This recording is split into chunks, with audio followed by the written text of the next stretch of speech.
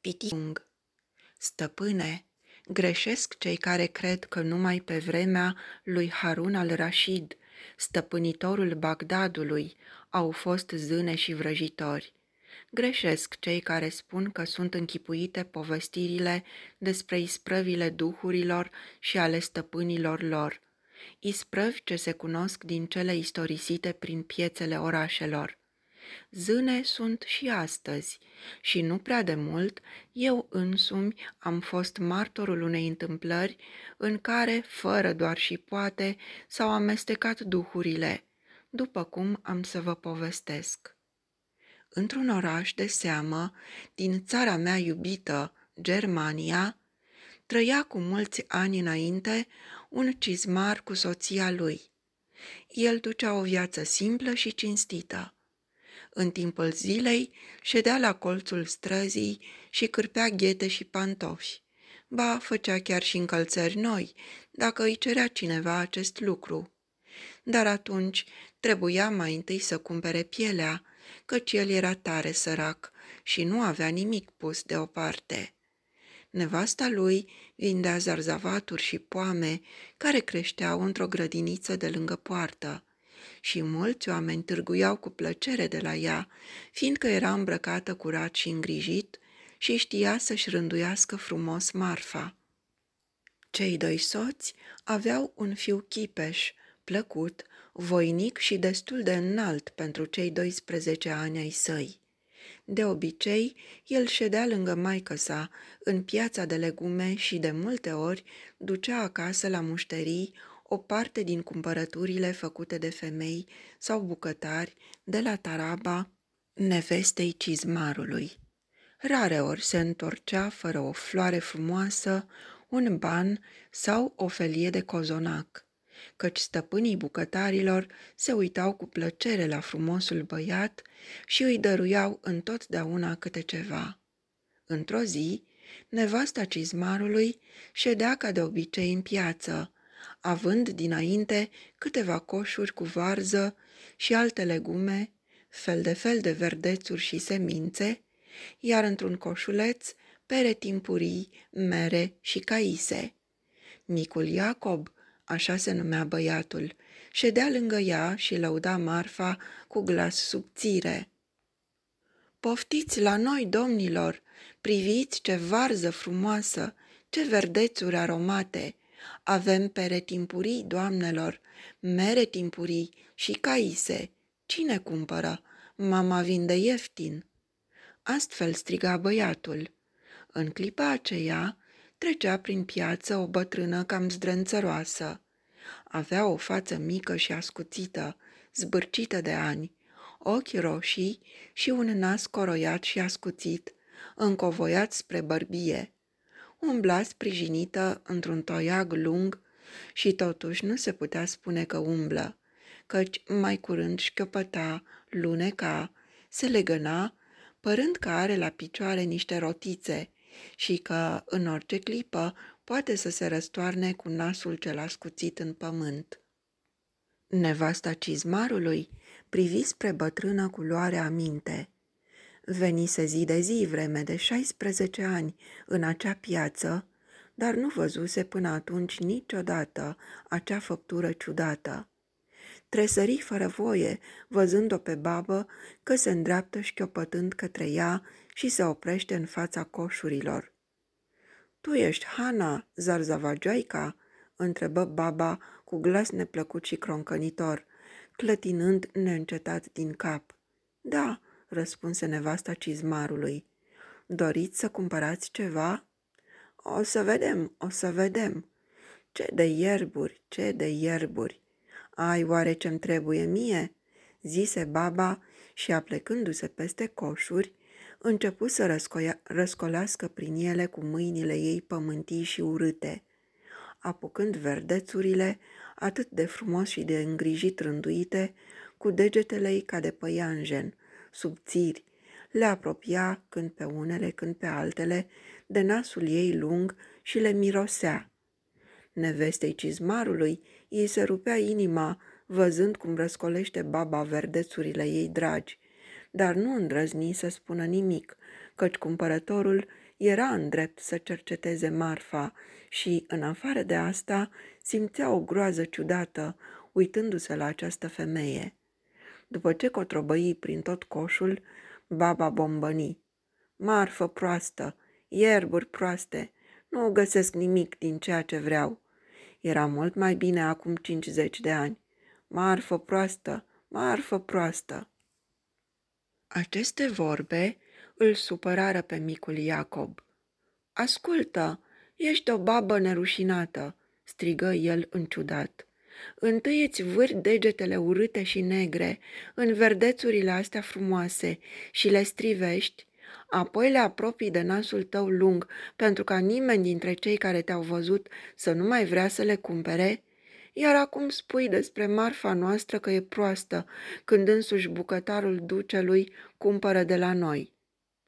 Bătrâna se uită pieziș la inimosul băiat, izbucni într-un hohot de râs respingător și zise cu glas răgușit, Băiete, băiete, îți place așadar nasul meu, frumosul meu nas lung? O să ai și tu unul, din mijlocul obrazului până peste bărbie. În timp ce vorbea astfel, lunecă spre celălalt coș în care era așezată varza. Apucă cu mâinile cele mai frumoase verze albe, le strânse până le strivi, apoi le aruncă talmeș-balmeș în coș și spuse iar, Marfă proastă, varză proastă, nu-ți mai clătina atât de urât capul încoace și încolo, strigă băiatul cu teamă, căci ai un gât subțire ca un cotor de varză și s-ar putea frânge, și atunci capul ar cădea în coș. Cine ar mai vrea oare atunci să târguiască de acolo? Nu-ți plac gâturile subțiri?" Croncăni baba râzând. Tu să n-ai gât deloc, capul să-ți stea înfipt între umeri ca să nu cadă de pe trupșorul cel mic." Nu mai trâncăni astfel de lucruri cu băiatul, spuse în sfârșit nevasta cizmarului, supărată de atâta cotrobăit, privit și mirosit. Dacă vrei să cumperi ceva, grăbește-te, îmi gonești toți cumpărătorii. Bine, fie cum spui tu, strigă baba cu o privire dușmănoasă.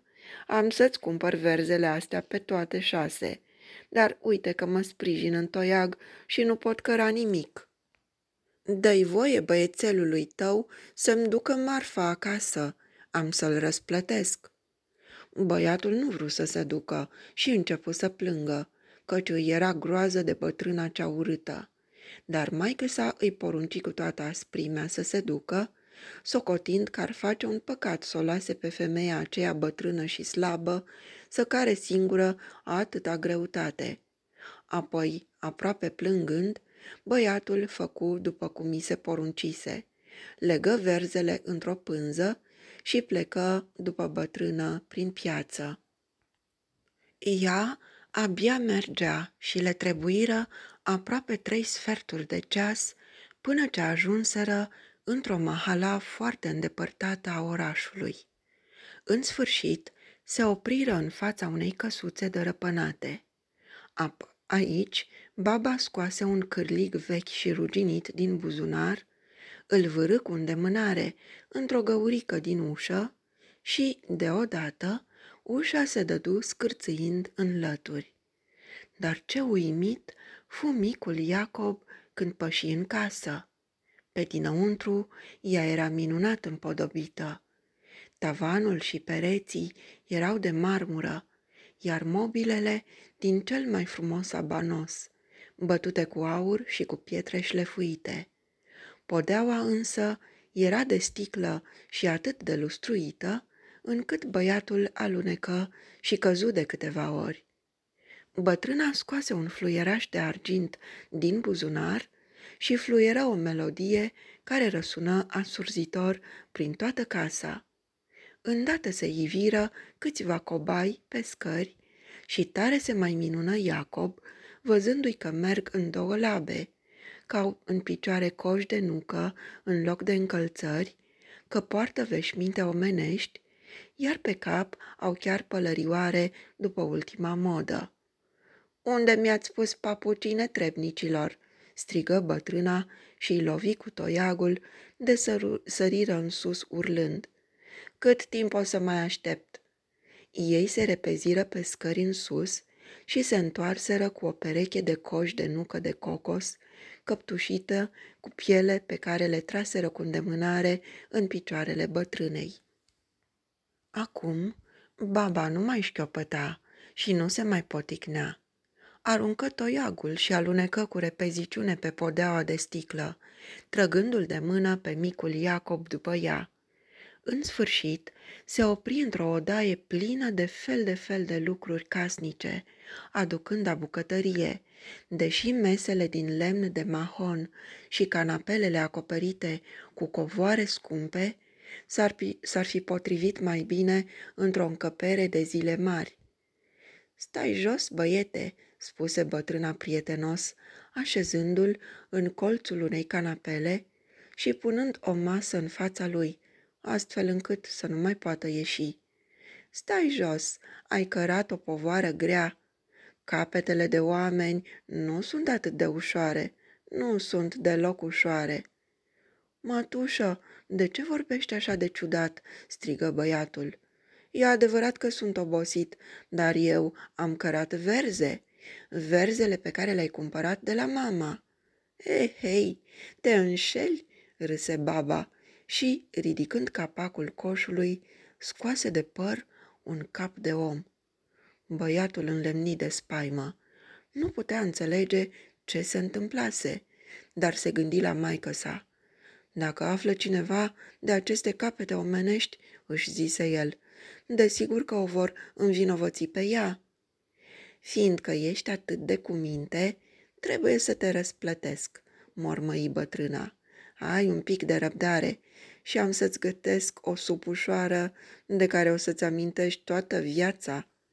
Vorbind astfel, baba fluieră iar. Veniră mai întâi o mulțime de cobai în veșminte omenești. În față purtau șorțuri de bucătărie, iar de cingătorile lor atârnau linguri de amestecat și cuțite de bucătărie. În urma lor țopăiau în două labe o mulțime de veverițe cu șalvari turcești largi și pe cap cu căciulițe verzi de catifea. Păreau să fie ajutoarele de bucătar, căci se cățărau cu mare iuțeală pe pereți și aduceau tigăi și crătiți, ouă și unt, verdețuri și făină și le așezară pe plită. În vremea asta, baba aluneca mereu cu papucii ei de nucă de cocos, încoace și încolo, și băiatul văzu că își dădea osteneala să-i gătească ceva bun. Focul începu curând să duduie, tigaia prinse să sfârie și să fumege, un miros plăcut se răspândi prin odaie, iar baba alerga în sus și în jos cu veverițele și cu cobaii după ea, vârându-și nasul ei lung în oală de câte ori trecea pe lângă plită.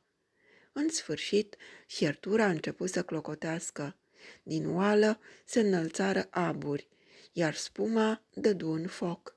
Atunci ea trase oala la o parte, umplu o ceașcă de argint cu supă și o puse în fața micului Iacob. Așa, băiete, așa, zise ea, mănâncă supușoara și o să ai tot ce ți-a plăcut atât de mult la mine. Ai să ajungi un bucătar priceput, ai să fii și tu cineva. Dar buruiana, nu, buruiana n-ai să o găsești niciodată. De ce n-a avut-o mama ta în coș? Băiatul nu pricepea bine ce-i spunea și privea cu tot mai multă luare aminte supa, care îi plăcea nespus. Maică sa îi gătise multe bucate gustoase, dar niciuna nu-i plăcuse atât de mult. Din supă se înălța un miros plăcut de verdețuri și de mirodenii. Era în același timp și dulce și acrișoară și foarte tare. În timp ce sorbea ultimele picături din minunata fiertură, cobaii aprinseră tămâie arabă, care se răspândi în nori albăstrui prin odaie. Norii se îngroșară din ce în ce și se lăsară în jos. Mirosul de tămâie îl ameți pe băiat. Zadarnic își spunea că trebuie să se întoarcă la mama lui. Cu cât se îndemna mai mult, cu atât îl cuprindea toropeala și, în cele din urmă, a dormit dus pe canapeaua bătrânei. Visă ceva ciudat. I se păru că baba îl dezbracă și îl învelește în piele de veveriță, că el începe să sară, să se cațere ca o veveriță, să se plimbe cu celelalte veverițe și cu cobaii, care erau niște făpturi foarte cuminți și așezate, și că face cu ele slujbă la bătrână. La început fu folosit numai ca lustragiu, adică trebuia să ungă cu ulei nucile de cocos, pe care baba le purta ca papuci, să le frece până începeau să strălucească. Deoarece în casa părintească fu- fusese adeseori pus la asemenea treburi, era îndemânatic. Cam după un an, așa visă el mai departe, îl folosiră la treburi mai grele. Împreună cu alte veverițe, trebuia să prindă firicelele de praf din soare, iar când se strângeau destule, să le cearnă prin cea mai fină sită de păr. Baba socotea că nu-i pe lume ceva mai bun ca firicelele de praf și neputând să mestece bine din pricina că era știrbă, punea să-i se facă pâine din firicelele de praf din soare. După încă un an, fu mutat între slujitorii care strângeau apă de băut pentru bătrână.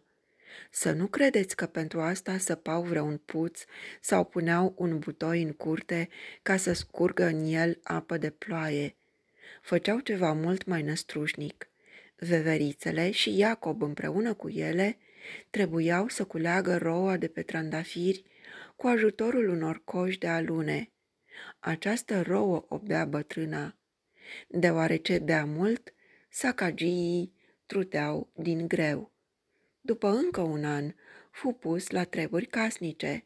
Avea însărcinarea să curețe podelele. Cum acestea erau din sticlă, pe care se cunoștea orice boare, treaba nu era ușoară. Trebuia să frece cu peria și să-și lege cârpe de picioare, alunecând astfel prin odaie. În al patrulea an, fu mutat în sfârșit la bucătărie. Aceasta era o slujbă de cinste, la care se ajungea după încercări îndelungate. Iacob sluji acolo ca ucenic până ce ajunse meșter de prăjituri și căpătă o îndemânare și o iscusință atât de mari în tot ce privea gătitul bucatelor, încât se mira deseori de sine însuși. Cele mai grele mâncăruri, plăcinte cu 200 de feluri de arome, supe din toate verdețurile pământului, pe toate le învăță, pe toate se pricepea acum să le facă repede și bine. Trecuseră astfel vreo șapte ani, de când se afla în slujba bătrânei, când, într-o zi, aceasta, scoțându-și papucii de cocos și luând coșul și toiagul ca să iasă în oraș, îi porunci să curețe un pui, să-l umple cu verdețuri și să-l rumenească bine până se va întoarce ea.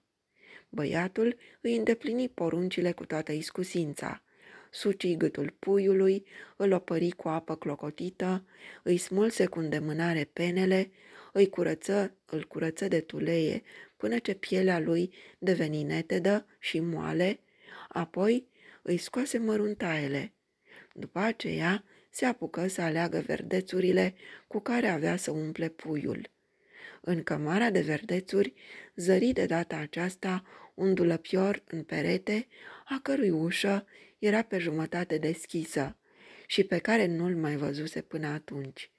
Curios, se apropie să vadă ce se află înăuntru și zări o mulțime de coșulețe din care ieșea un miros tare și plăcut. Deschise unul din coșuri și găsi în el niște ierburi de o formă și culoare cu totul neobișnuite. Tulpina și frunzele erau verzi albastre și aveau în vârf o floricică de un roșu aprins, tivit, cu galben. Se uită gânditor la floare și apoi o mirosi. Mirosea tot atât de tare ca supa pe care i-o gătise bătrâna. Mireasma era însă atât de puternică, încât băiatul începu să strănute din ce în ce mai nestăvilit și, strănutând, se trezi în cele din urmă. Era culcat pe canapeaua bătrânei. Se uită uimit împrejur. Cât de adevărat pare visul, își spunea el, aș fi putut jura că mă preschimbasem într-o netrebnică de veveriță, într-un semen al cobailor și al altor ligioane și că ajunsesem un bucătar iscusit. Ce o să mai râdă mama când am să-i povestesc? Dar n-are să se supere că am dormit într-o casă străină, în loc să o ajut la piață. Cu acest gând se ridică, voind să plece. Trupul îi înțepenise din pricina somnului, mai ales ceafa, căci nu-și putea mișca bine capul încoace și încolo. Îi venea să râdă de el însuși că era atât de amețit de somn, încât în fiecare clipă, fără să-și dea seama, ba se lovea cu nasul de un dulap, ba de un perete, sau, când se întorcea repede, se izbea cu el de clanța ușii. Veverițele și cobaii alergau scâncind în jurul lui, ca și când ar fi vrut să-l petreacă. Ajuns în prag, el îi pofti chiar să o facă, fiind făpturi drăgălașe, dar ele fugiră înapoi în casă pe cojile lor de nucă și le auzi numai de departe vaietele. Partea aceasta a orașului, unde îi dusese bătrâna, unde îl dusese bătrâna, era destul de îndepărtată și Iacob abia izbuti să se descurce prin ulicioarele înguste, unde oamenii începură să se îmbulzească spre a vedea, după cum i se păru lui, un pitic ce se arătase prin apropiere. Pretutindeni auzi strigăte. Hei, ia priviți ce pitic pocit! De unde o veni?" Vai, ce nas lung are și ce cap lipit de umeri! Ce mâini urâte, pământii! În alte ocazii, ar fi vrut și el să-l vadă, căci îi plăcea foarte mult să privească uriași, pitici și orice pocitanie ciudată. Dar acum trebuia să se grăbească ca să ajungă la maică sa. Când ajunse în piață, îl cuprinse teama. Mama lui ședea încă acolo și mai avea destule fructe în coș, deci el nu dormise prea mult, dar de departe i se păru că era foarte mâhnită. Nu mai îndemna trecătorii să cumpere, ci își sprijinea capul în mâini și, când el se apropie, i se văzu că era mai palidă ca de obicei. Băiatul șovăi, neștiind ce să facă. În sfârșit, își luă inima în dinți, se strecură prin spate, puse cu gingășie mâna pe brațul ei și spuse, Ce ai, mămico, ești supărată pe mine?" Femeia se întoarse spre el, dar se dădu înapoi cu un țipăt de groază. Ce vrei de la mine, pitic pocit?" strigă ea. Hai, pleacă de aici, nu-mi plac asemenea glume prostești." Ce-i cu tine, mamă?" întrebă Iacob speriat. Desigur, nu te simți bine de vrei să-ți alungi fiul." Ți-am mai spus, vezi de drum," răspunse Hana mânioasă. De la mine nu vezi niciun ban pentru șolticăriile tale, stârpitură." Într-adevăr, Dumnezeu i-a luat mințile, își spuse băiatul amărât ca pentru sine. Cum să fac acum ca să o duc acasă? Dragă mămico, fii înțelegătoare, uită-te bine la mine. Sunt fiul tău, Iacob, al tău. Gluma asta mi se pare prea deșucheată, strigă Hana vecinei.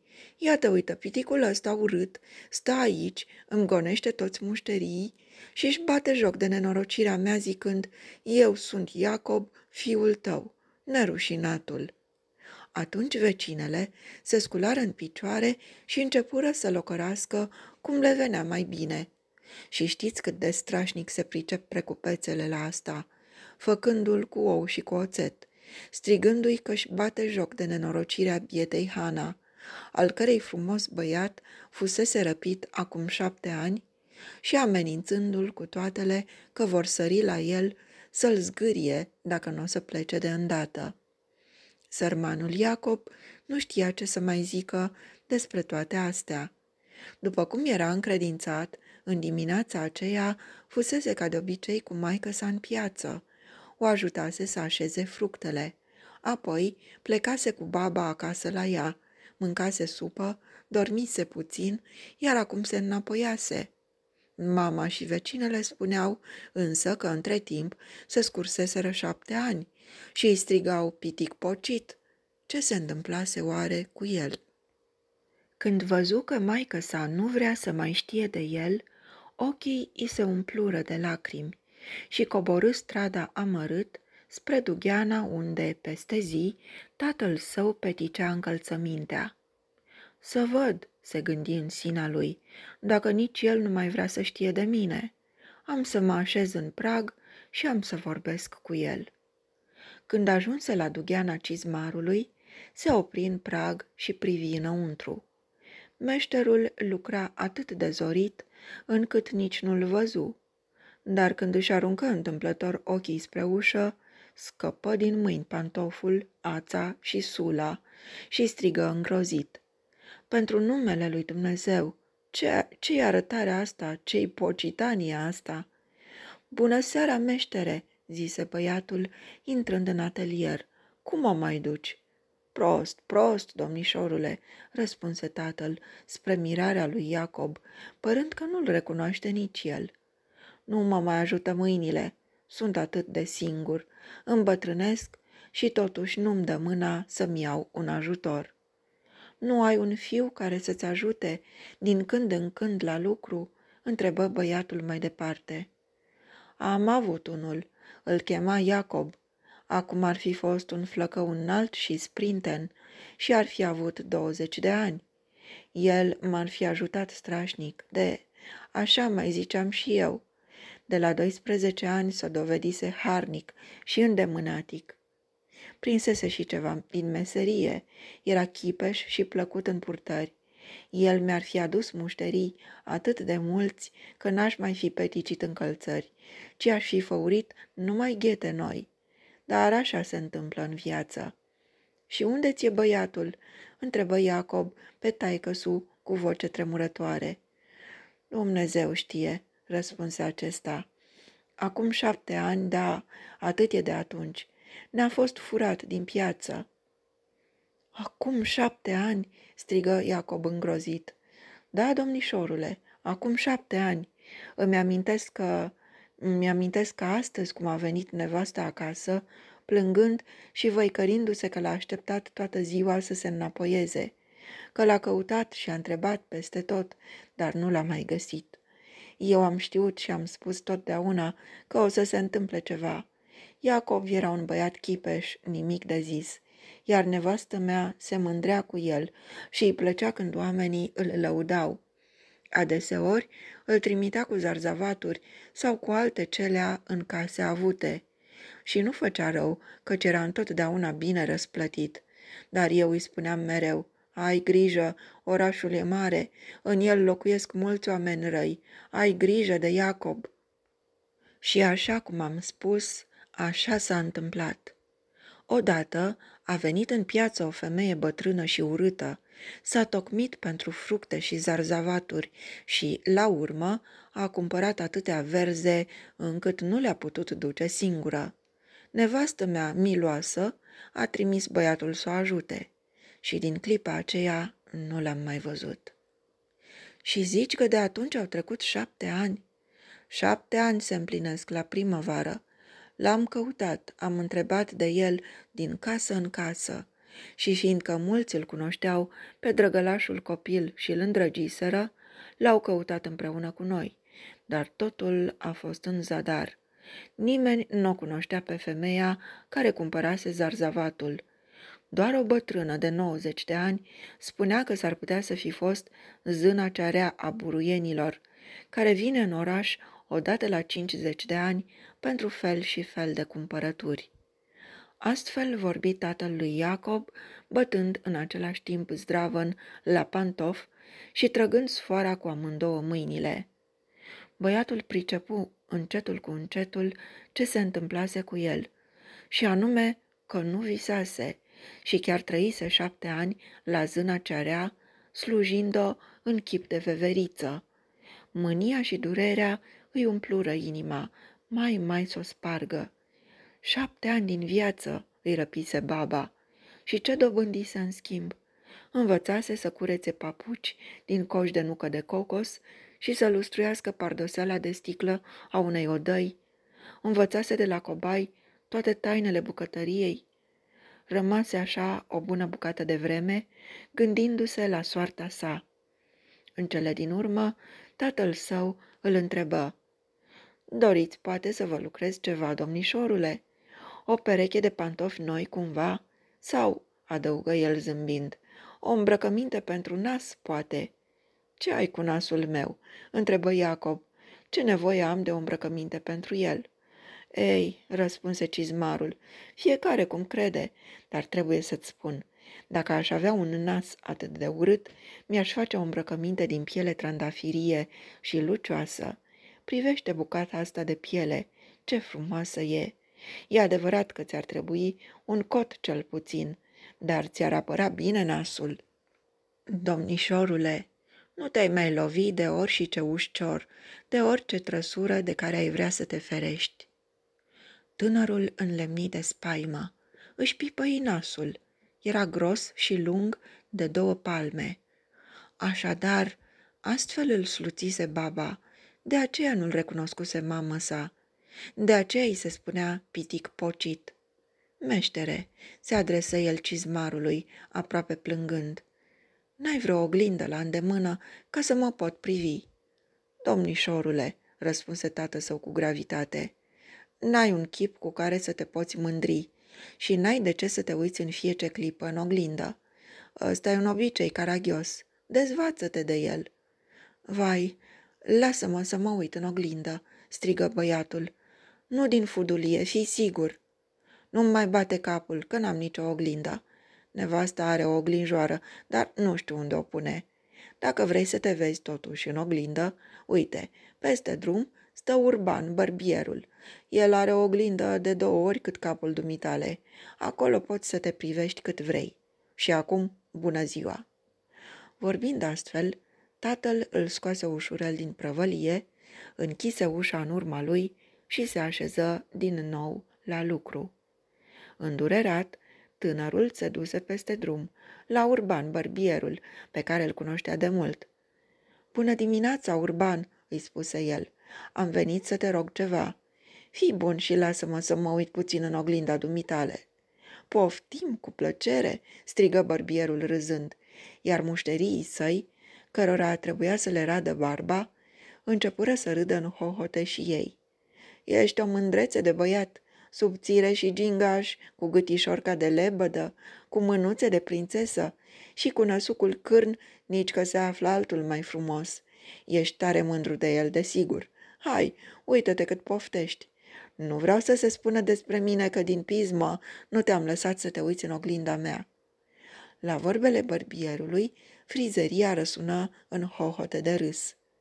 Între timp, tânărul se apropie de oglindă și se privi. Ochii îi se umplură de lacrimi. Da, scumpă mamă, așa, într-adevăr, n-ai putut să-l recunoști pe Iacob al tău, își spuse el în gând. Nu astfel arăta el în zilele fericite când te mândreai cu el în fața oamenilor. Avea niște ochi mici ca de porc, iar nasul uriaș îi atârna peste gură până la bărbie. Gât părea că nu are deloc, căci capul era înfipt adânc între umeri și când îl mișca la dreapta sau la stânga, simțea că îl doare rău. Era tot atât de înalt ca și acum șapte ani, când avusese 12 ani. Dar între 12 și 20 de ani, în loc să crească în înălțime, ca toți oamenii, el crescuse în lățime.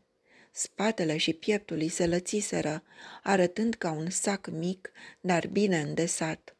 Trupul lui Greoi se sprijinea pe niște piciorușe slabe, ce păreau neputincioase să susțină atâta greutate.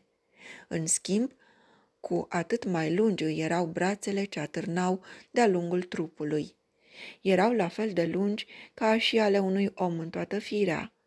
Mâinile îi erau butucănoase și pământii, iar degetele lungi ca fusele și când le întindea putea atinge pământul fără să se aplece. Astfel arăta acum Iacob.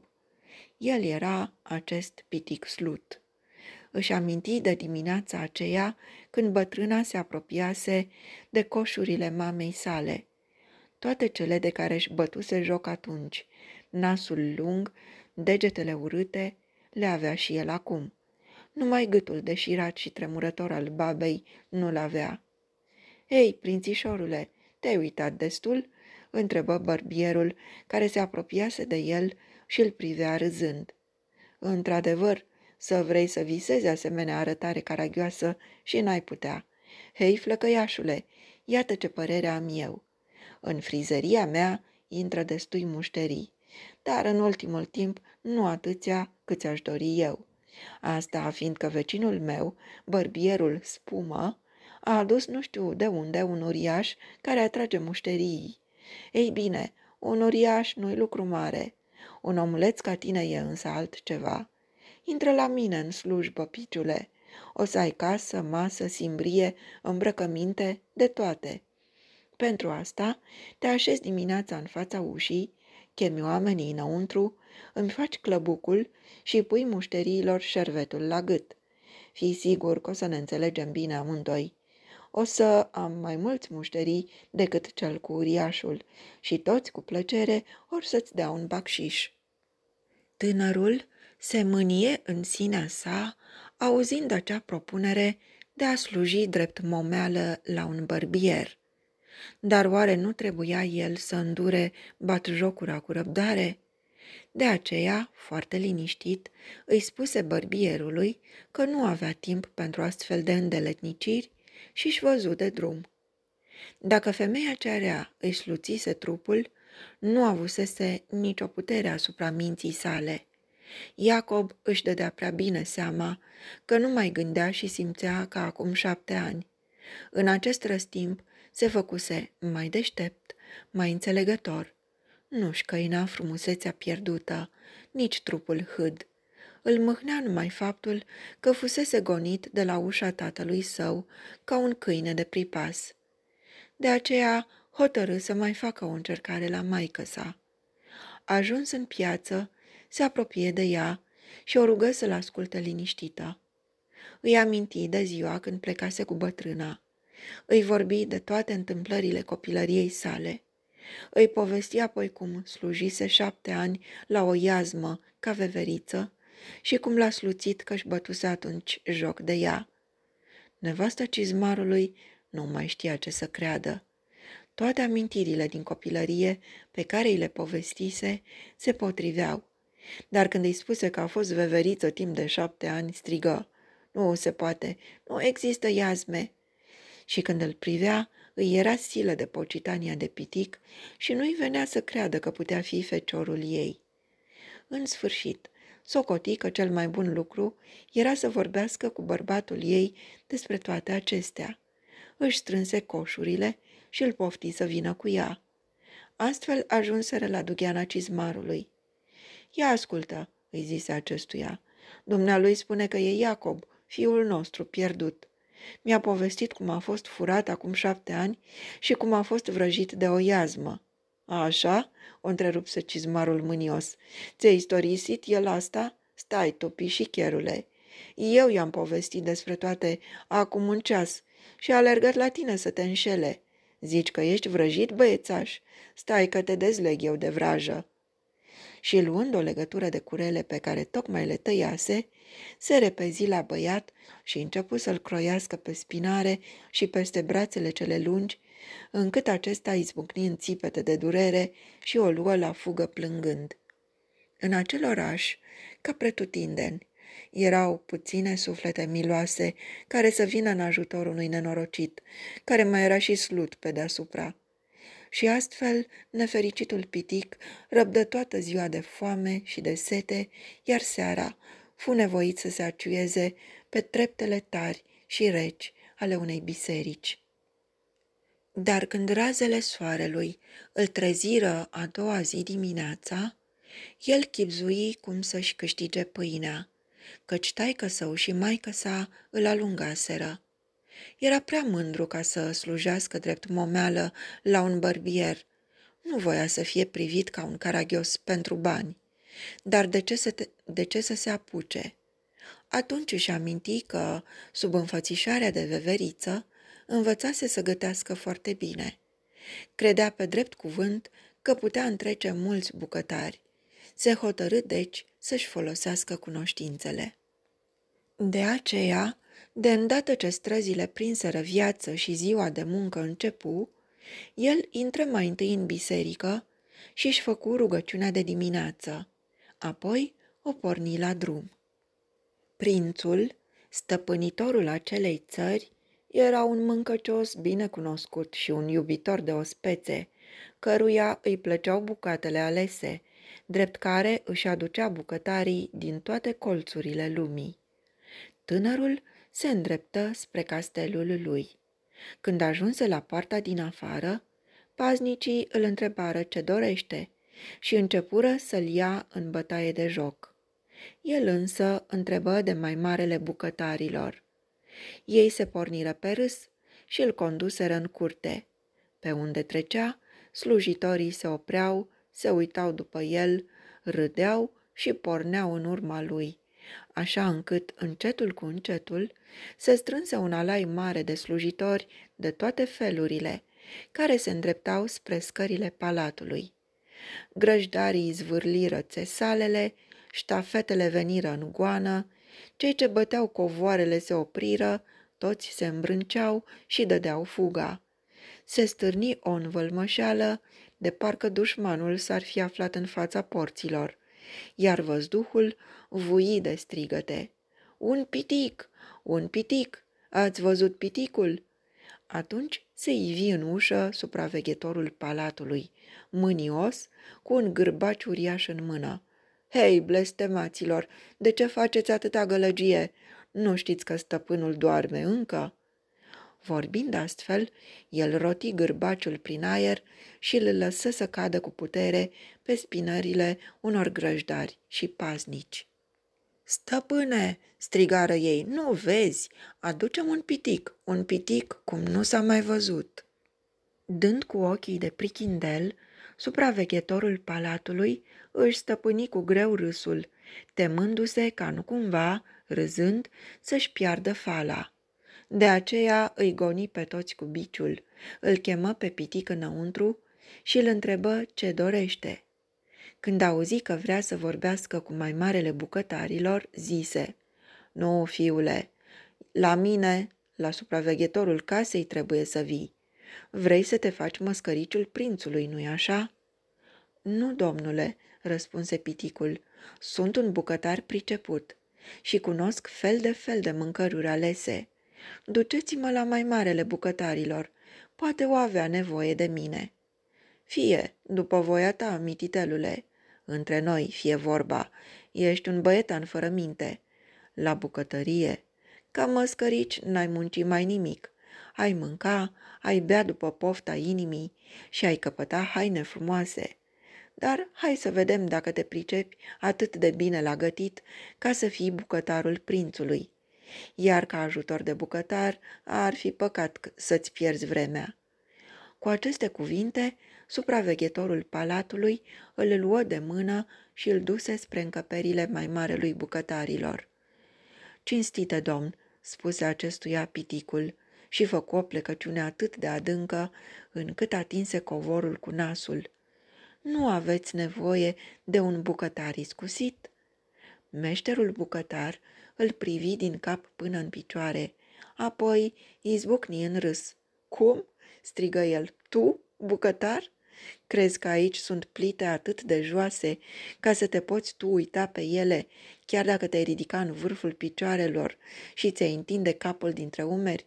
Mai, mititelule, cine te-a trimis la mine ca să te faci bucătar și a bătut joc de tine?" Astfel vorbi mai marele bucătarilor râzând și împreună cu el Râseră supraveghetorul palatului și toți slujitorii ce se aflau în încăpere. Piticul însă nu se dădu bătut. Ce preț are un ou sau două, puțin sirop și vin, făină și mirodenii, într-o casă unde ele se află din belșug, zise el. Porunciți-mi să vă prepar ceva, să vă lingeți pe degete.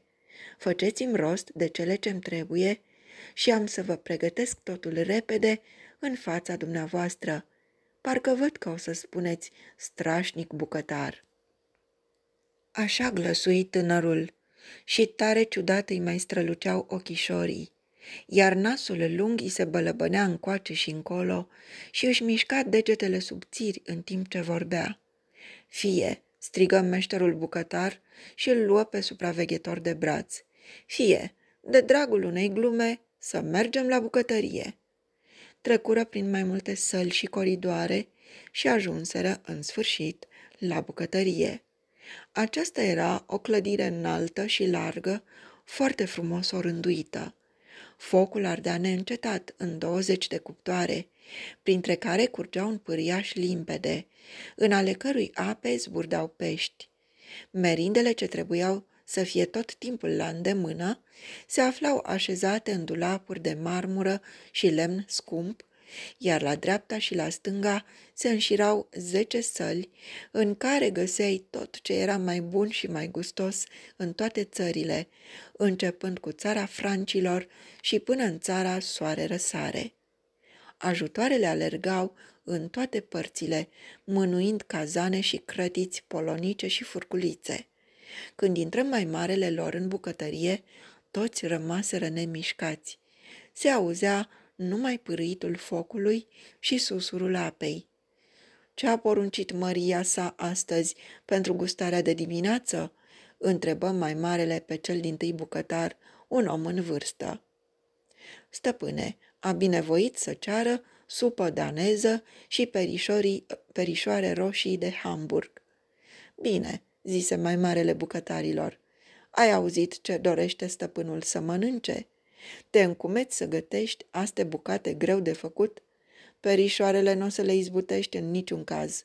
Felul în care se fac e secret. Nimic mai ușor, răspunse piticul spre uimirea tuturor, căci gătise deseori aceste bucate când era veveriță. Nimic mai ușor.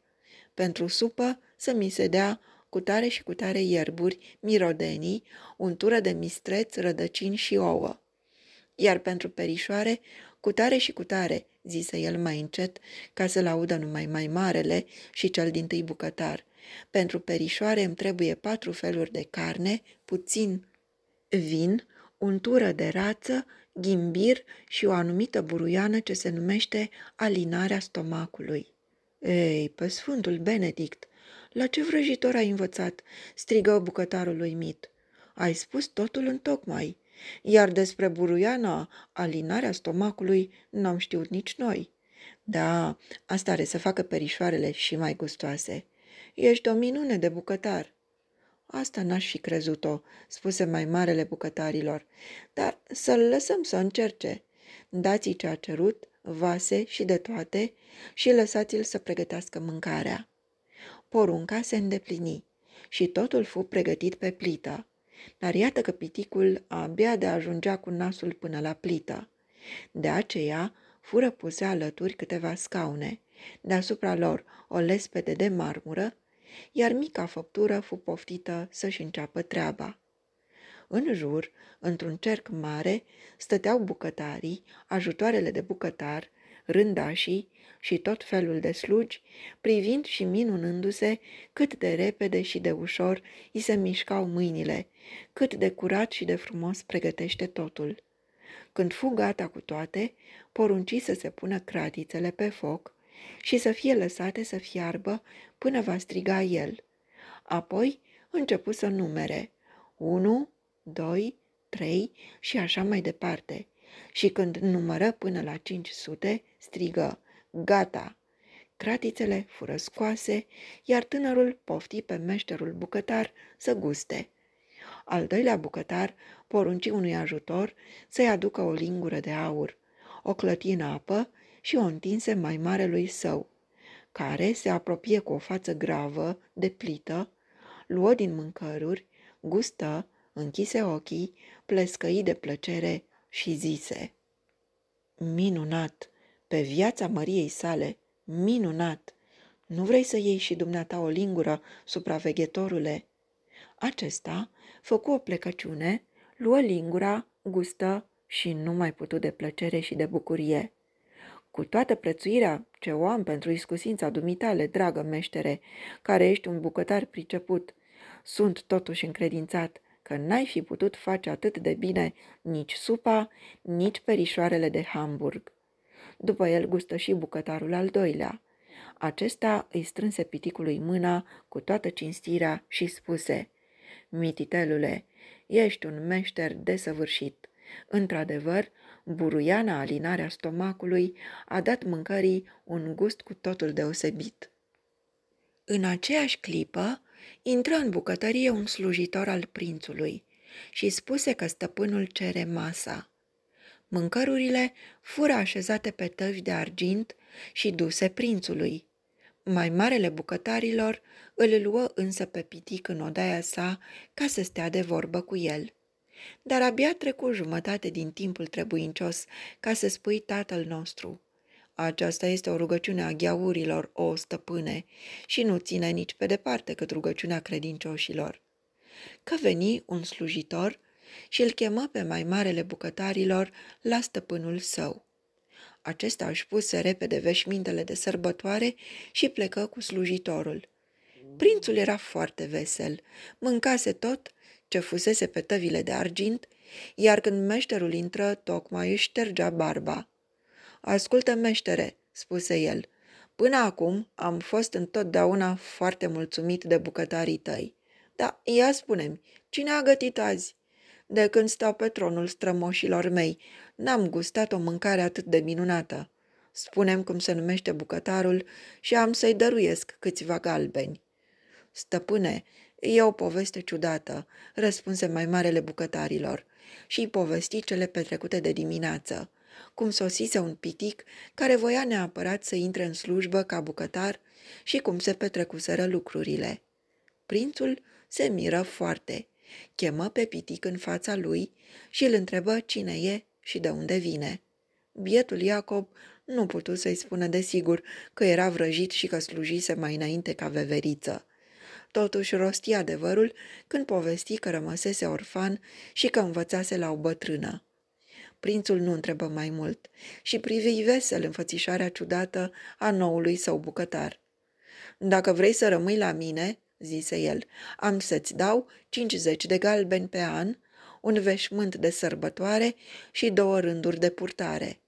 Pentru asta însă trebuie să-mi pregătești tu însuți, zilnic, gustarea de dimineață, să poruncești cum să se gătească masa de prânz și, îndeobște, să-mi supraveghezi bucătăria.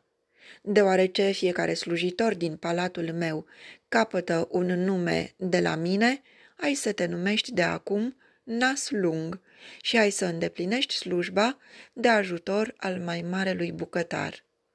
Piticul Nas Lung căzu în genunchi la picioarele puternicului prinț al francilor, îi sărută tălpile și făgădui să-l slujească cu credință. Astfel, tânărul își găsise un adăpost și își făcea datoria cu cinste.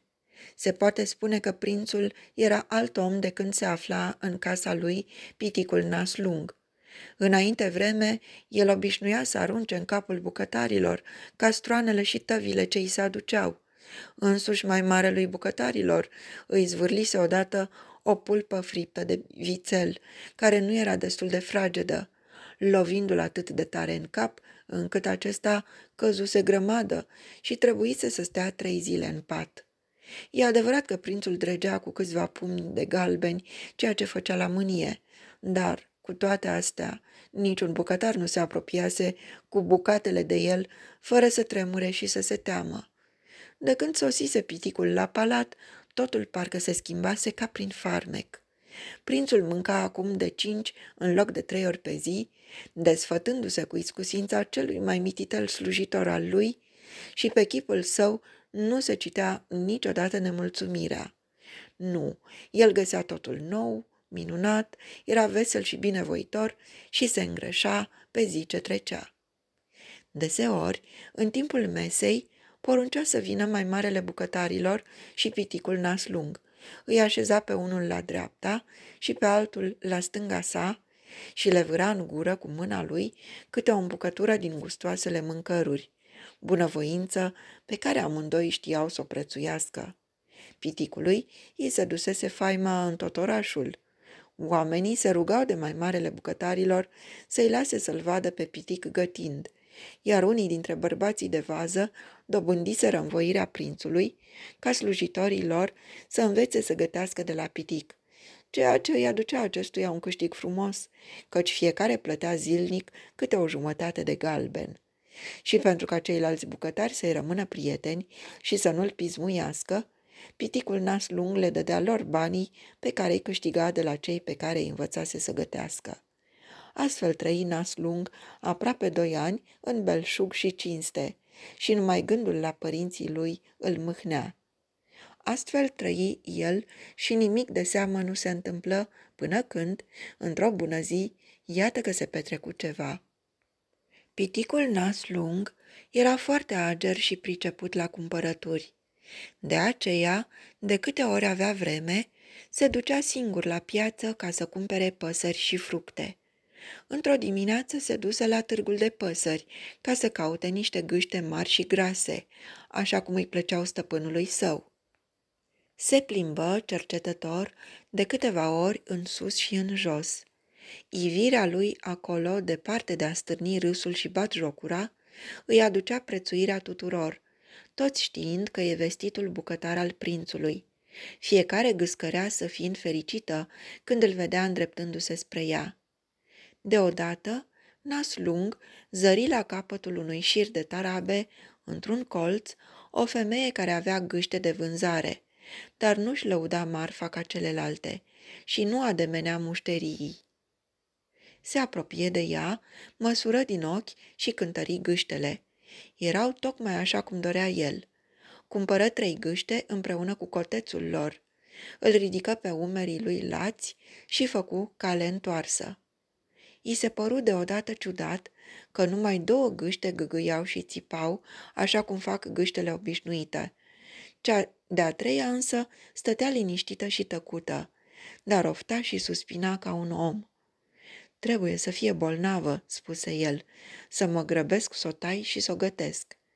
Dar gâsca răspunse limpede și cu glas tare. De mă atingi cumva, eu te voi mușca. Gâtul de vei tăia, în groapă te voi băga. Înspăimântat, piticul nas lung lăsă cotețul jos, iar gâsca îl privi cu ochii ei frumoși și deștepți și oftă. Ei, drace!" strigă nas lung. Poți să vorbești, domnișoară gâscă?" Asta n-aș fi crezut-o. Ei, nu-ți fie frică. Știu ce-i viața și n-am să omor o pasăre atât de deosebită. Dar fac prin soare că n-ai fost totdeauna ceea ce ești acum.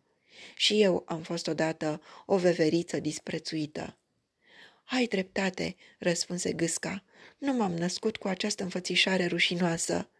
Vai, la leagănul meu nu mi s-a spus că Mimi, fica marelui Vetterbock, va fi ucisă în bucătăria unui prinț. Liniștește-te, dragă domnișoară Mimi, o îmbărbătă piticul. Pe cuvântul meu de cinste și de ajutor de meșter de bucătar al luminăției sale, că nimeni nu se va atinge de dumneata. Am să-ți fac un coteț chiar în încăperile mele.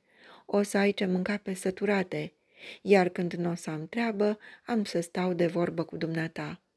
Celorlalți slujitori din bucătărie am să le spun că vreau să te îngrași pentru prinț cu ierburi rare și de îndată ce se ivește prilejul îți dau drumul.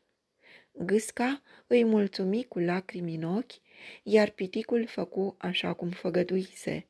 Tăie celelalte două gâște, iar pentru Mimi făcu un coteț separat spunând că vrea să o pregătească pentru prinț într-un fel cu totul deosebit. De asemenea, nu-i dădu hrana obișnuită pentru gâște, ci prăjituri și dulciuri.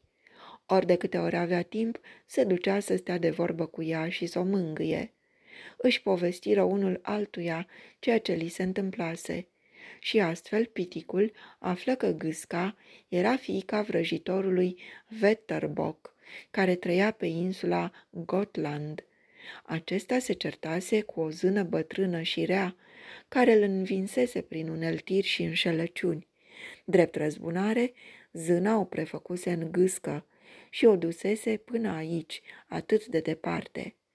După ce piticul nas lung povesti și el prin ce trecuse, Mimi îi spuse, Mă pricep eu la de-al de astea.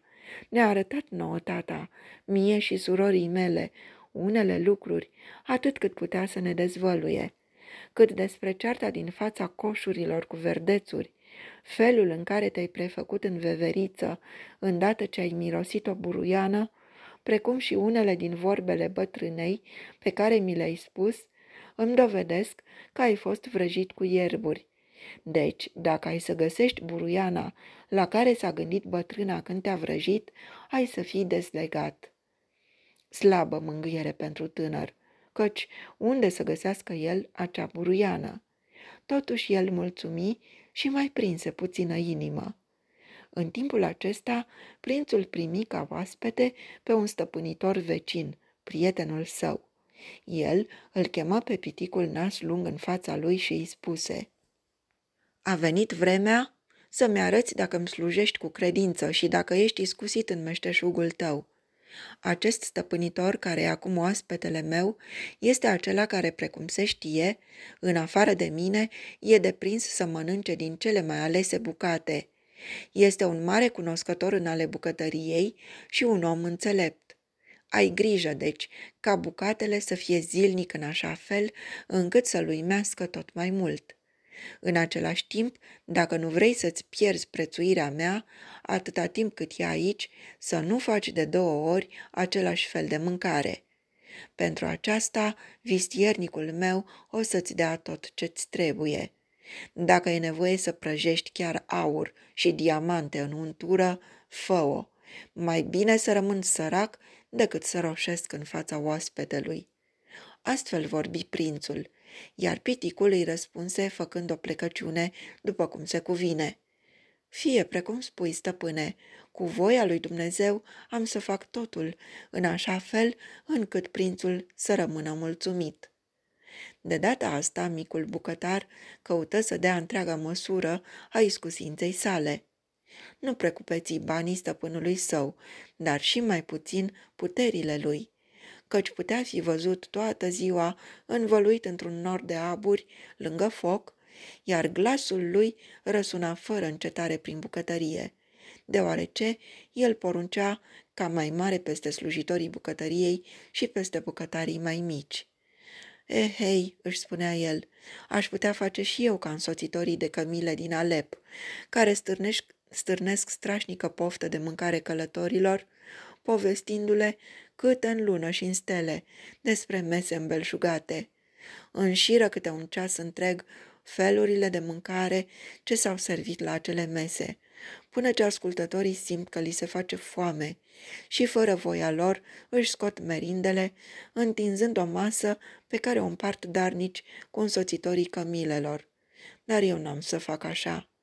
Prințul cel străin se afla de 14 zile în ospeție și se simțea foarte bine, minunat de bine. Mâncau în fiecare zi numai puțin de cinci ori, iar prințul era mulțumit de măestria piticului său, căci vedea plăcerea antipărită pe chipul oaspetelui. În a 15-a zi însă, prințul îl chemă pe pitic la masă și îl înfățișă oaspetelui său, pe care îl întrebă dacă era mulțumit de pitic. Ești un mare meșter, răspunse prințul cel străin. Știi ce înseamnă o mâncare bună? De când sunt aici, n-ai gătit de două ori aceleași bucate și le-ai făcut pe toate cu multă măestrie. Dar spune-mi, de ce nu faci, în sfârșit, bunătatea bunătăților, plăcinta crăiasă? Piticul se sperie, căci nu auzise niciodată de această crăiasă a plăcintelor, dar se liniști și răspunse – O, stăpâne, nădăjduiam ca chipul tău să mai lumineze multă vreme acest lăcaș.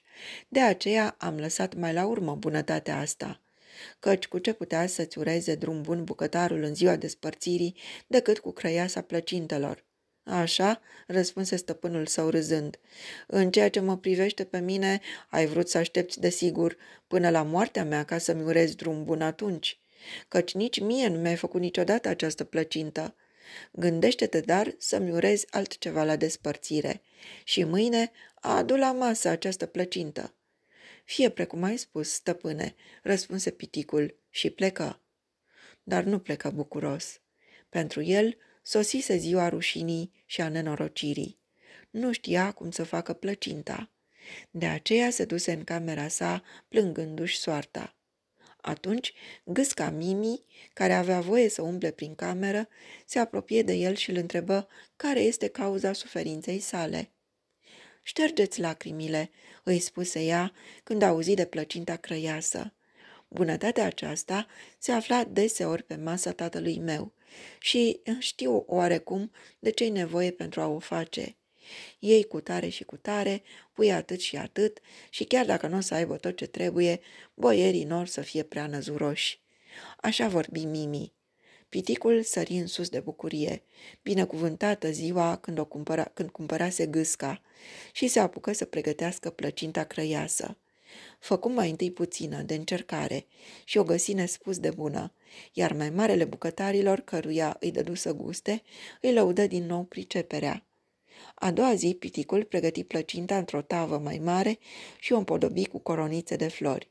Îmbrăcând cea mai frumoasă haină de sărbătoare, se duse și el în sufragerie. Când intră, slujitorul care servea la masă tocmai era pe cale să taie plăcinta și să o întindă stăpânului și oaspetelui acestuia pe o lopățică de argint. Prințul mușcă cu poftă din ea, ridică ochii în tavan și după ce înghiți spuse A, pe drept cuvânt se numește crăiasa plăcintelor. Dar și piticul meu este craiul tuturor bucătarilor, nu-i așa, dragă prietene? Oaspetele lui luă câteva bucățele, le gustă, le cercetă cu luarea minte și zâmbi disprețuitor și tainic. A făcut-o destul de bine, răspunse el împingând farfuria înapoi. Dar nu e chiar crăiasa. Era de așteptat. Atunci, prințul încruntă sprâncenele mânios și se învăpăie de rușine. Pitic ticălos, strigă el, cum îndrăznești să faci o asemenea ocară stăpânului tău? Să poruncesc oare să ți se taie capul tău cel mare, drept pedeapsă că ai gătit prost? Vai, stăpâne, pentru numele lui Dumnezeu, am făcut plăcinta după toată rânduiala. Sunt sigur că nu-i lipsește nimic, spuse piticul tremurând. Minți, băiete, răspunse prințul și îl lovi cu piciorul. Dacă ar fi așa, oaspetele meu n-ar spune că îi lipsește ceva. Am să te toc și am să te pun să te fac pe tine plăcintă. Fie vă milă, strigă tânărul și târându-se în genunchi spre oaspete, îi îmbrățișă picioarele. Spuneți-mi, ce-i lipsește plăcintei de nu vă place? Nu mă lăsați să pierd din pricina unui pumn de carne și făină. Asta nu o să-ți folosească prea mult, dragul meu, răspunse străinul râzând. Mă gândeam încă de ieri că n-ai să poți face această mâncare ca bucătarul meu. Află că îi lipsește o buruiană, care nu e deloc cunoscută pe aici. Buruiana strănută cu plăcere. Fără aceasta, plăcinta n-are gust și stăpânul tău nu o să mănânce niciodată plăcinta pe care o mănânc eu. Atunci stăpânul țării francilor se mânie. Și totuși am să mănânc, strigă el cu ochi scânteietori, căci jur pe cinstea mea de prinț că mâine te voi ospătea cu plăcinta despre care vorbești sau capul băiatului ăstuia va sta înfipt la poarta palatului meu. Pleacă de aici, câine, îți mai dau răgaz de 24 de ceasuri. Astfel strigă prințul, iar piticul se duse din nou la el în odaie și se jelui gâștei de soarta sa și de faptul că trebuie să moară, fiindcă n-a auzit niciodată de această buruiană.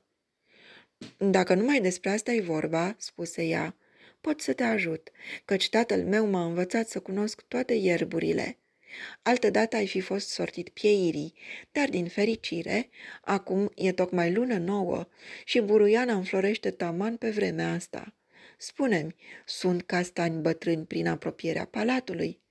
O, da, răspunse Naslung cu inima mai ușoară. Lângă lac, la 200 de pași de castel, se află un pâlc, dar de ce? Această buruiană înflorește numai la rădăcina castanilor bătrâni, zise Mimi. Să nu pierdem deci vremea.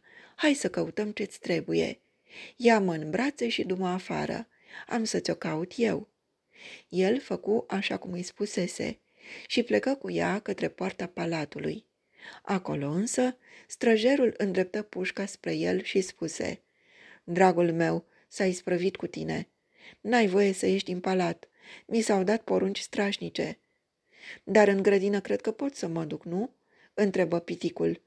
Fii bun și trimite pe unul din tovarășii tăi la supraveghetorul palatului, ca să întrebe dacă n-am voie să mă duc în grădină să caut ierburi. Străjerul îi îndeplini rugămintea și piticul primi învoirea cerută, căci grădina era împrejmuită cu ziduri înalte și el n-ar fi avut pe unde să fugă. Când nas lung ajunse cu gâsca Mimi în grădină, o puse cu grijă jos și ea, luând-o înaintea lui, se îndreptă repede către lac, unde se aflau castanii. El o urmă cu inima strânsă, deoarece aceasta era cea din urmă și singura lui scăpare. Dacă nu avea să găsească buruiana, era hotărât să se arunce mai degrabă în lac decât să îi se taie capul. Mimi căută între timp însă zadarnic. Cercetă pe sub toți castanii, întoarse cu ciocul fiecare firicel de iarbă, dar nu găsi nimic. De milă și de frică începu să plângă. Se lăsă seara și începea să nu se mai vadă. Atunci, privirile piticului se îndreptară spre lac și el striga acolo, deodată.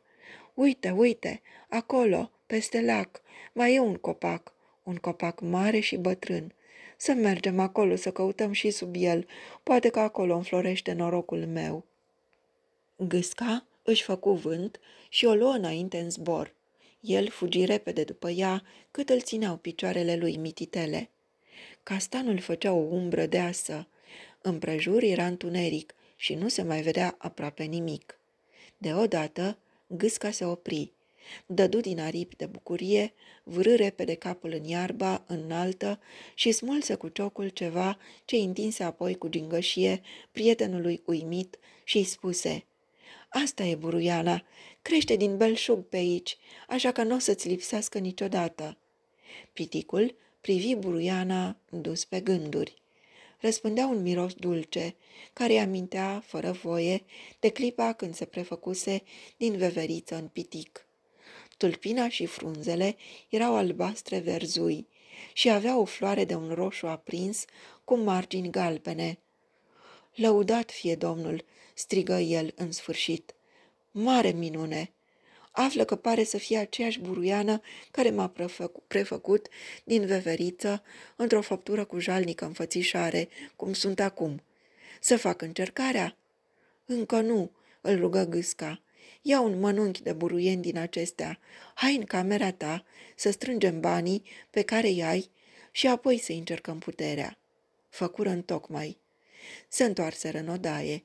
Inima piticului bătea să-i spargă pieptul. După ce făcu din hainele și încălțămintea sa o legătură în care ascunse cei 50 sau 60 de galbeni pe care îi strânsese, grăi.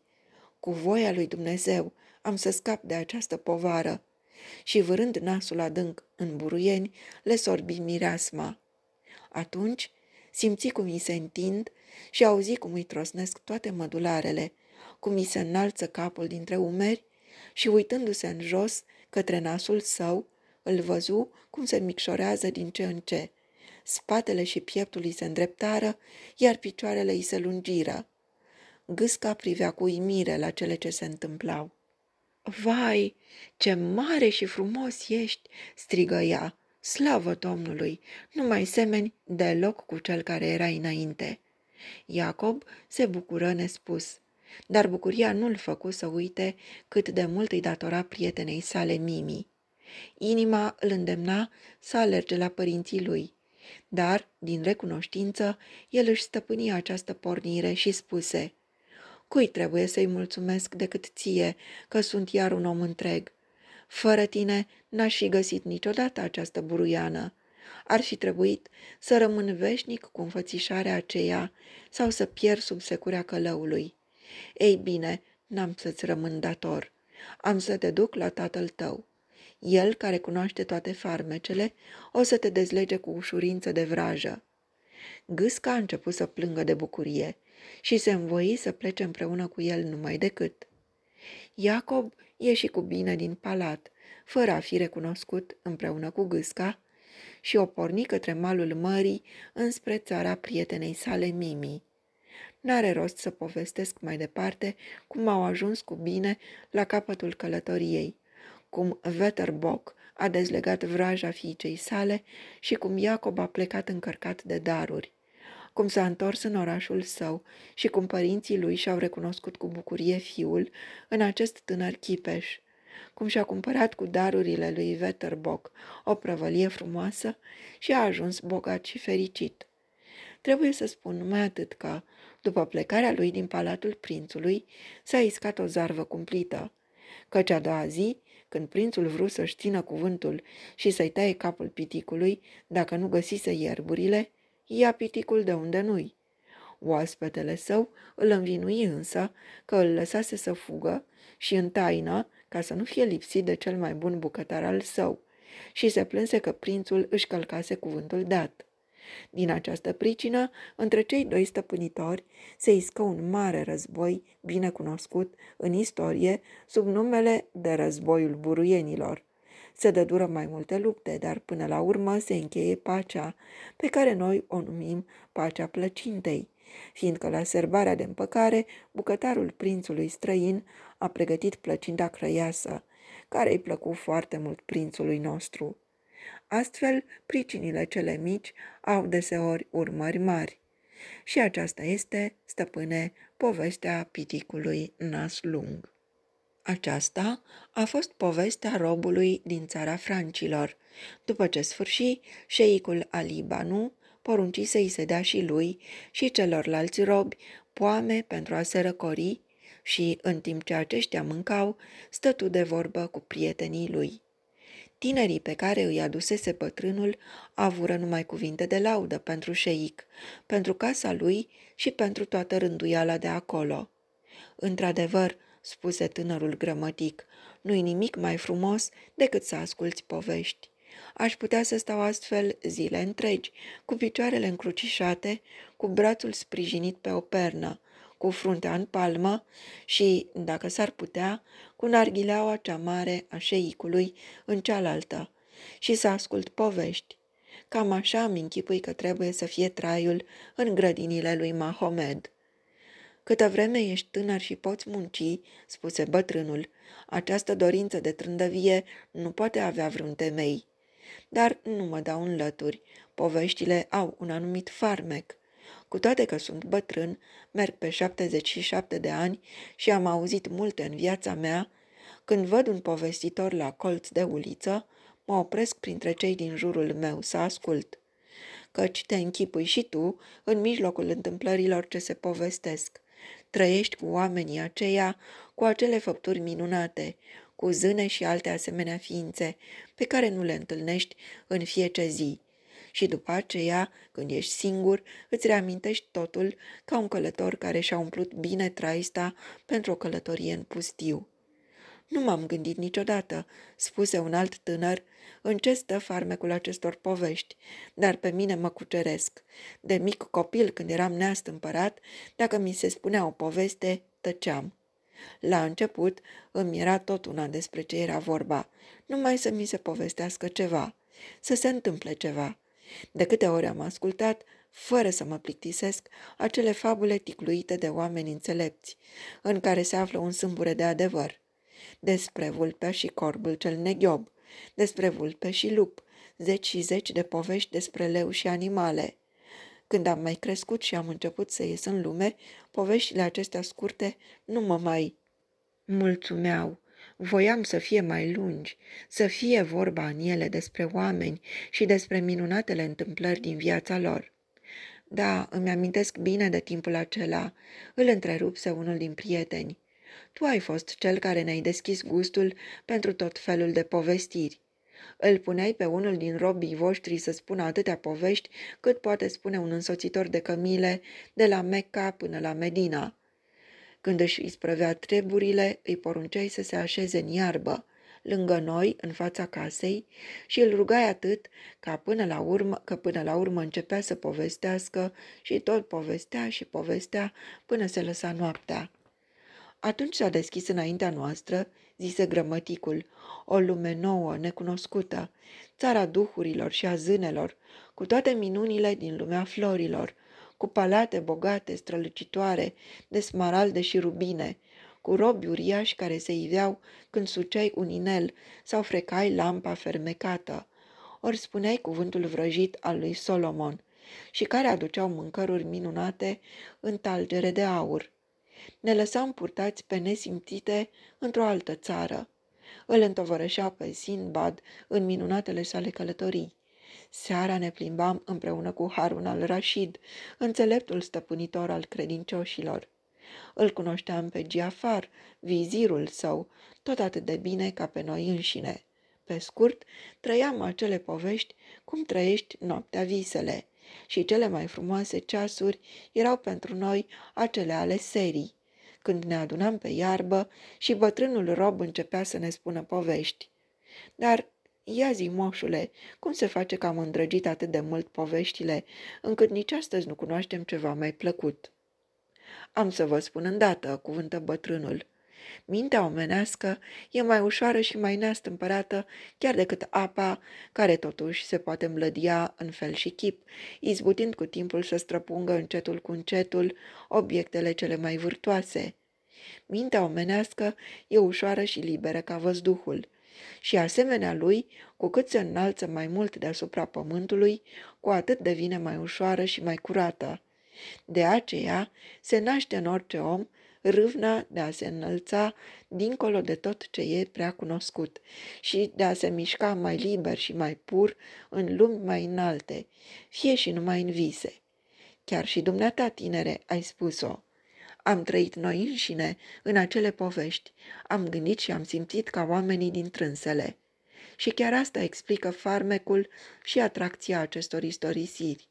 Ascultând povestea robului, care nu era decât o născocire, ticluită cândva de altul, mintea voastră a brodat mai departe cele istorisite. N-ați rămas încătușați de lucrurile din jurul vostru, de gândurile voastre obișnuite. Nu, ați trăit cele auzite, ați fost voi înșivă, ființa căreia i s-a întâmplat acele peripeții minunate. Atât de puternic v-ați confundat cu omul despre care vi se povestea. Pe firul unei asemenea istorii, mintea voastră se înălța astfel deasupra zilelor obișnuite, care, pasămite, nu vi s-au părut nici pe departe atât de frumoase, atât de atrăgătoare ca acelea din poveste. Astfel, mintea voastră s-a mișcat mai liberă și mai descătușată în lumea cea mai înaltă, necunoscută vouă. Basmul vi s-a părut o întâmplare aievea, sau, dacă vreți, viața adevărată a devenit basm, pentru că spiritul și ființa voastră au trăit în lumea basmului. N-am înțeles chiar tot ce ai spus, grăit tânărul negustor, dar ai dreptate când ne arăți că noi toți trăim în basme sau că basmele trăiesc în noi. Îmi amintesc prea bine de frumoasele timpuri când, în ceasurile de tihnă, visam cu mintea trează. Ne închipuiam atunci că am fost aruncați de soartă pe insule pustii, neprimitoare. Ne sfătuiam de ce anume să ne apucăm ca să ne ținem zilele. Și nu odată am construit colibe în desișuri de sălcii. Ne-am hrănit ca vai de lume cu tot felul de poame păcătoase cu toate că numai la o sută de pași mai încolo am fi putut găsi acasă mâncărurile cele mai gustoase.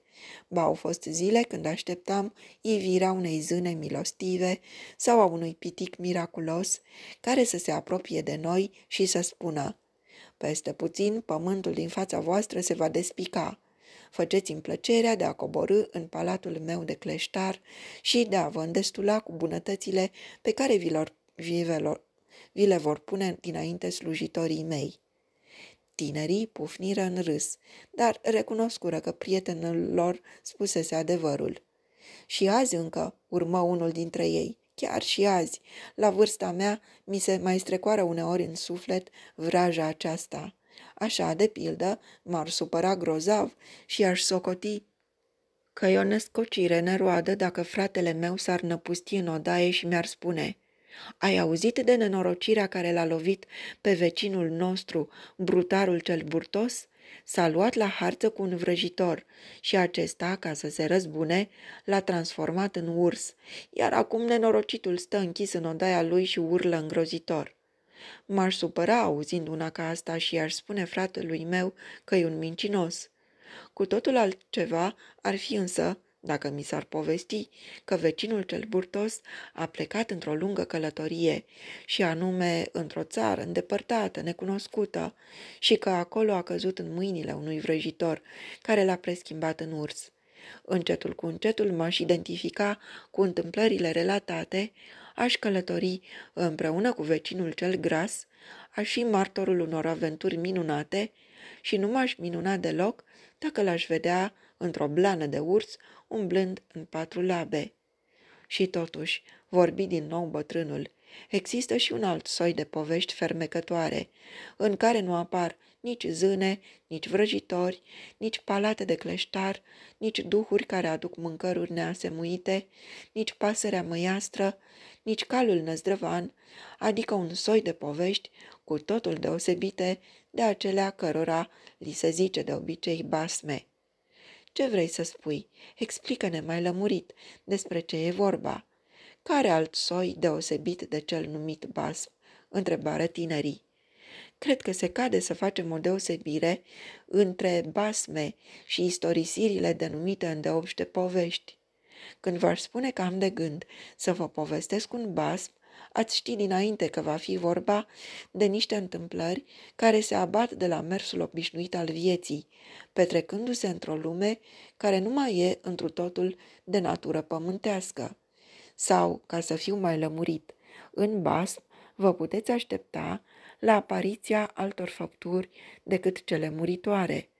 În soarta ființei de care se ocupă basmul intervin puteri străine, cum ar fi zânele sau vrăjitorii, duhurile și craii acestor duhuri.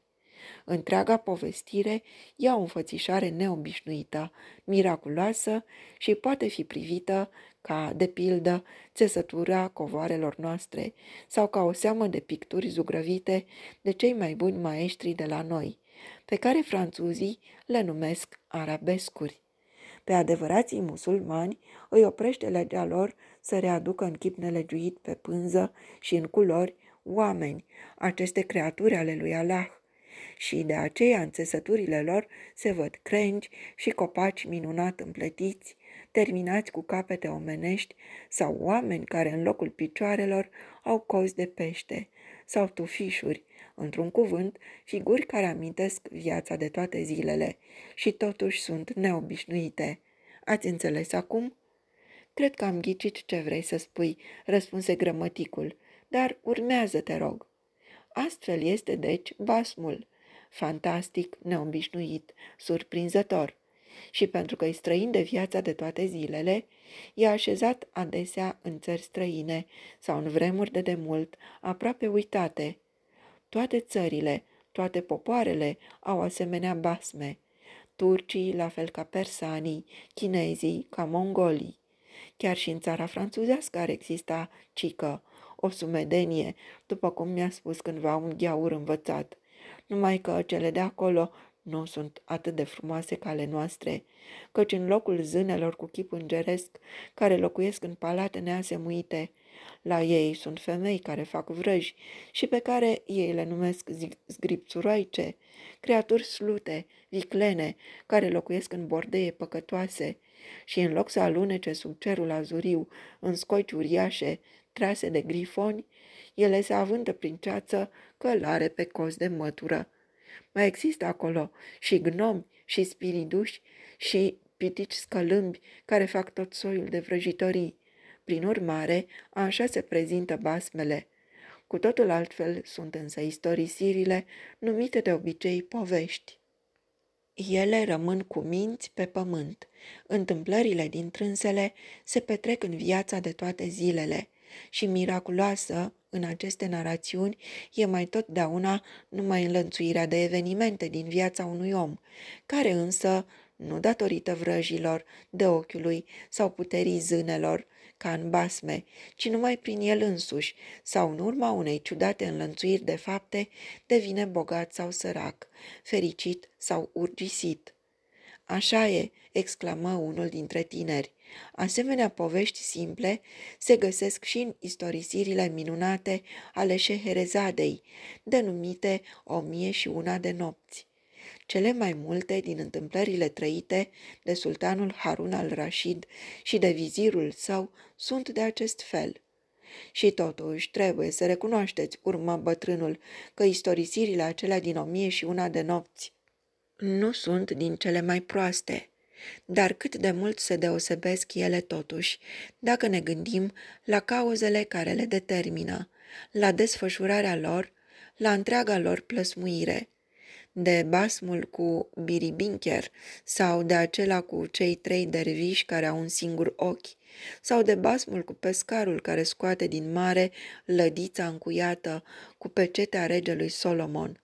În fond însă și unele și altele sunt izvorâte din aceeași cauză fundamentală care le dă farmecul acela deosebit, datorită căruia trăim și noi, în același timp, întâmplări excepționale, ieșite din comun.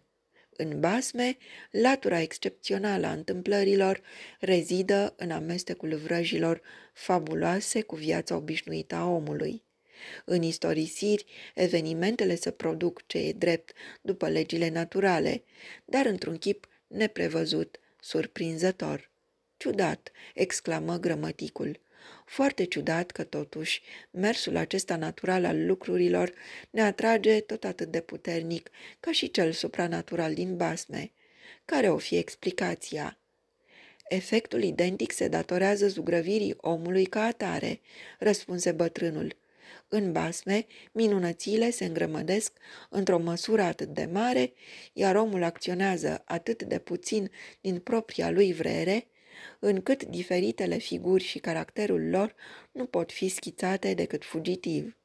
Cu totul altceva se întâmplă în istorisirea obișnuită, unde felul cum vorbește și acționează fiecare în concordanță cu caracterul său, reprezintă elementul principal și marea atracție a povestirii. Așa e, ai dreptate, întări tânărul negustor. Eu unul nu mi-am făcut niciodată timp să cuget mai adânc lucrurile acestea. M-am mulțumit să constat faptul și am trecut mai departe. M-am delectat cu câte unele povestiri, am găsit altele plicticoase, fără să-mi dau seama de ce dar dumneata ne-ai dat cheia care desferecă secretul, o piatră de încercare cu ajutorul căreia putem cerceta și judeca fără greș. Așa să și faceți totdeauna, întări bătrânul, dar plăcerea ce veți simți va fi mai mare dacă veți ști să cugetați la cele ce ați ascultat. Ei, dar iată că acolo se ridică altul, gata să istorisească. Și așa era și noul povestitor începu.